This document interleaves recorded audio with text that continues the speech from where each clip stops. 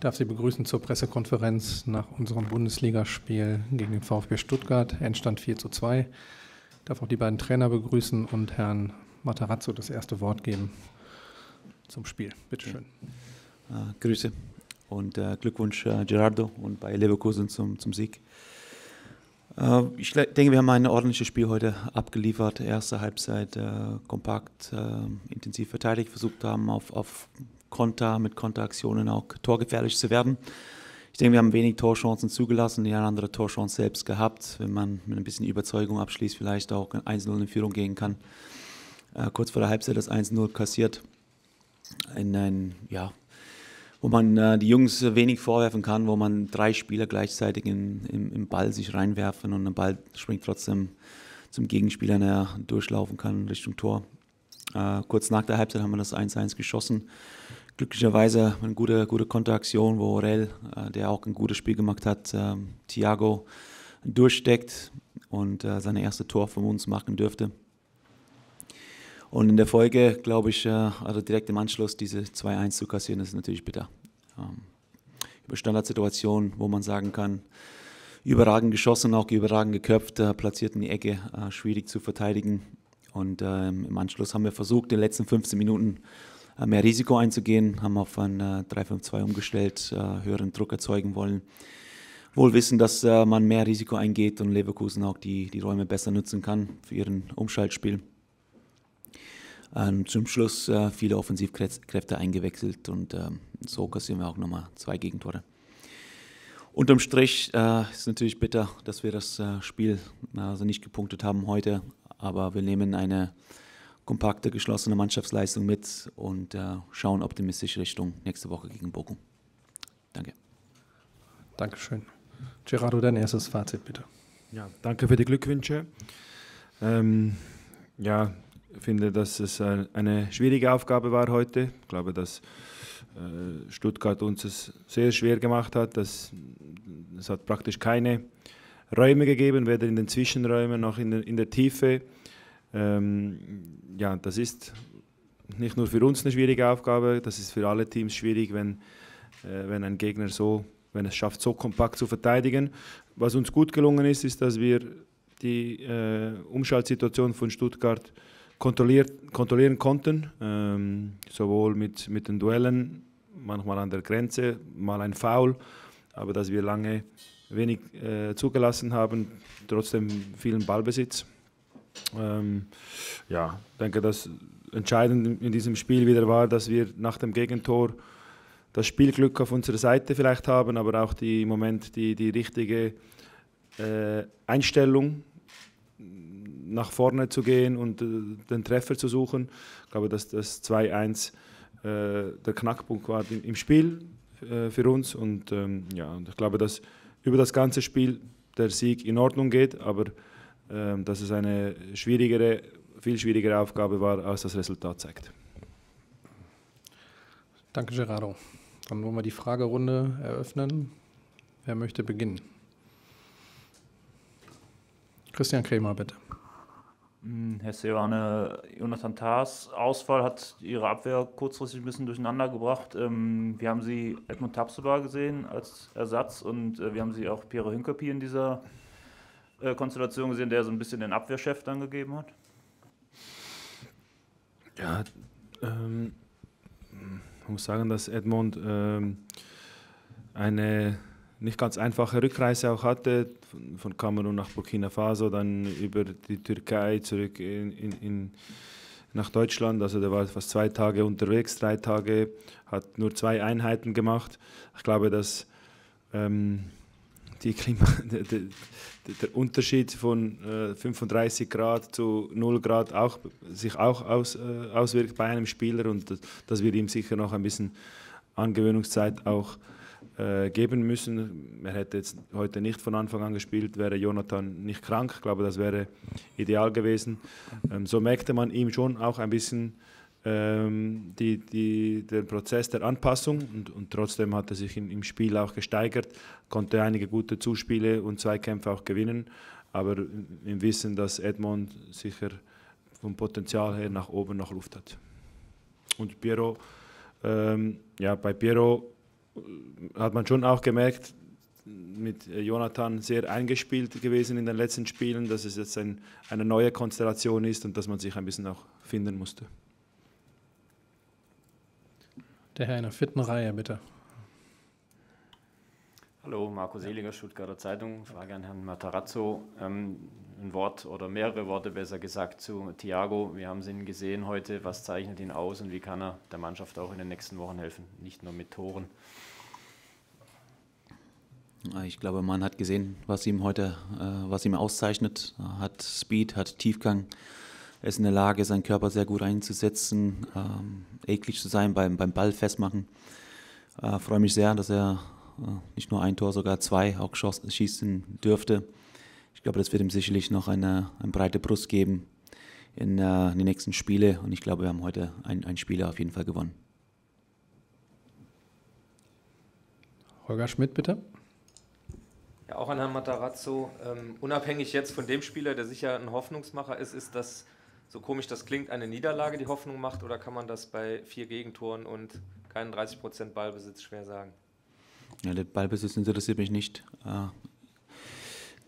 Äh, die, die Gegentore zum Schluss äh, hat auch keine Erklärung. Ne? Ich glaube, wir haben einfach viel, viel aufgemacht und die zwei Gegentore zum Schluss ist für mich auch nicht ausschlaggebend. Ich glaube, dass die Leistung kann man auf jeden Fall mitnehmen. Äh, man ärgert sich über jeden, jedes Gegentor, das ist auch klar, und jede Niederlage. Aber ich glaube, wir können vieles Positives mitnehmen für die nächsten Spiele. Nochmal vierte Reihe, bitte. Ja, danke. Wenn man vorausblickt, Herr Matarazzo, Sie werden das Wort Endspiel im Spiel gegen Bochum selbst sehr sicher nicht in den Mund nehmen.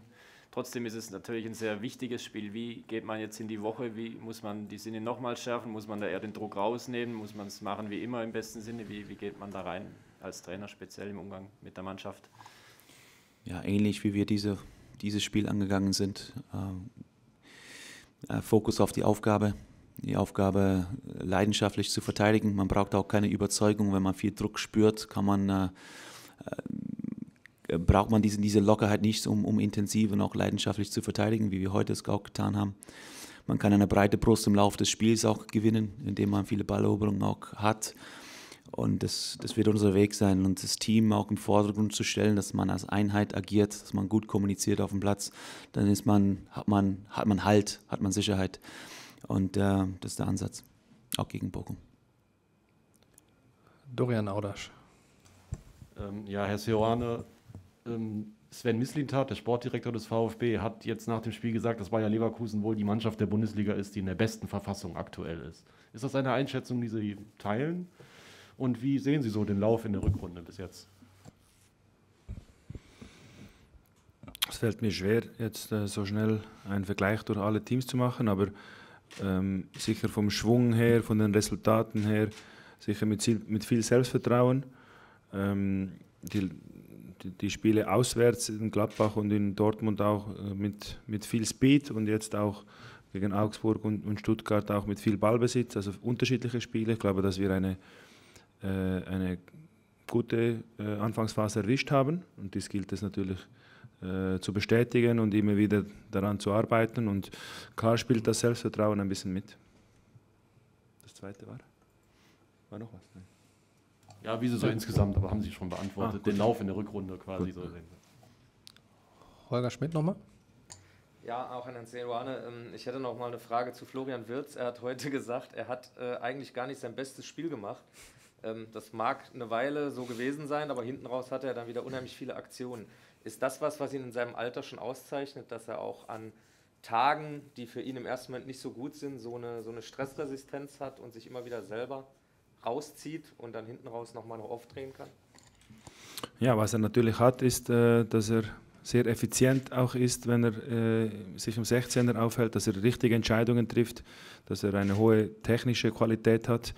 Ähm, ja, und das war auch mein Gefühl, nicht nur bei ihm, sondern bei, bei unserem Spiel allgemein, dass wir Mühe hatten, heute uns zu entfalten. Das hat einerseits mit dem, mit dem Gegner zu tun, der das wirklich sehr schwer gemacht hat, und wir mit einigen falschen Entscheidungen und äh, dazu auch beigetragen haben. Aber ja, was, was Florian Woche für Woche leistet, ähm, erstaunt uns immer wieder, auch wenn wir das täglich beobachten können. Und er hat eine immense technische Qualität, aber vor allem seine mentale Verfassung, sein Ehrgeiz, äh, sein Hunger, ähm, das zeichnet ihn vor allem auch in, in so schwierigen Spielen wie heute aus.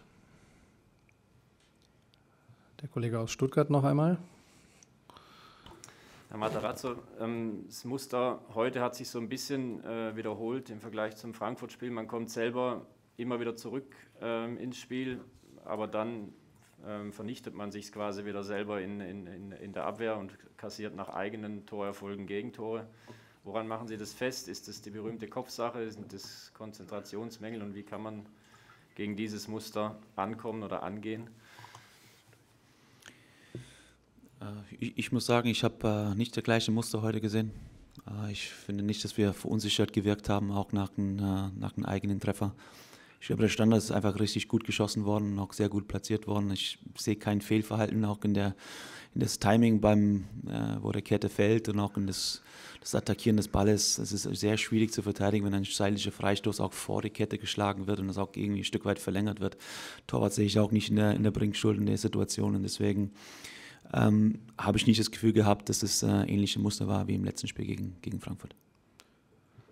Deswegen hat sich geledigt. Zum Abschluss Herr Lehner noch von der Bildzeitung, bitte. Ja, hallo Herr Seoane, nochmal eine Nachfrage zu Flo Wirz, der unter anderem auch gesagt hat, ähm, es ist ihm nicht so wichtig, wenn er nicht so gut im Spiel ist, wenn er mit seinen Läufen der Mannschaft helfen kann.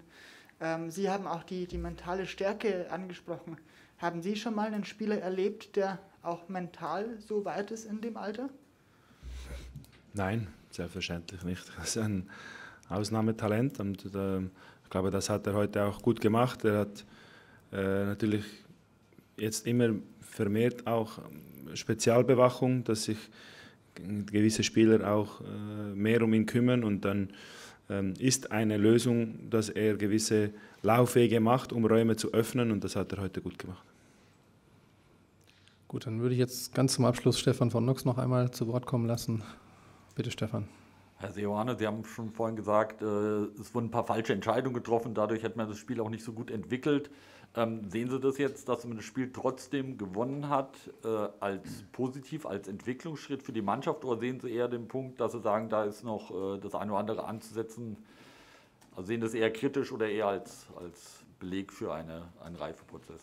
Sowohl als auch. Also ich finde, dass sicher herauszuheben gilt, dass wir den Sieg unbedingt wollten, dass, dass wir äh, äh, nicht nachgelassen haben, zu keinem Moment, dass wir versucht haben, das Tor auch zu suchen, auch nach dem 1-0, auch nach dem 3-1. Aber sicher gibt es einige Dinge zu verbessern, weil ein paar Ballverluste zu viel, äh, vor allem im, im, Spiel nach vorne. Auch beim, bei den Gegentoren gibt es auch immer was zu analysieren. Also die, mein, unser Gefühl auf der Bank war nicht so zufriedenstellend, dass wir jetzt sagen können, ist, äh, diese Leistung ist, ist gut und wir lassen es dabei sein, nein, sondern das wird schon noch äh, Besprechungsbedarf haben. Gut, dann soll es das gewesen sein für heute Abend mit der Pressekonferenz. Danke Ihnen fürs Kommen, danke an die beiden Trainer, unseren Gästen eine gute Heimreise. Schönen Abend. Okay. Tschüss. Danke. Tschüss.